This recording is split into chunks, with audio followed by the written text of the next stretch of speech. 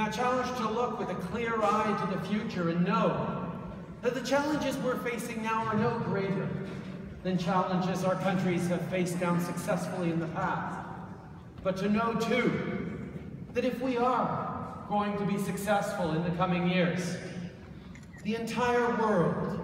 needs this continent to be at its very best, to be at its most generous, to be at its wisest, to be at its most innovative, to learn to lean on each other, to learn to draw from the populations that have come here from every corner of the planet, to build a better life for themselves and their future, and to know that there is much to be optimistic about in this future that we walk together on. And I think as we look to all the challenges we're facing, a model for the world can be this tremendous friendship between Canada and the United States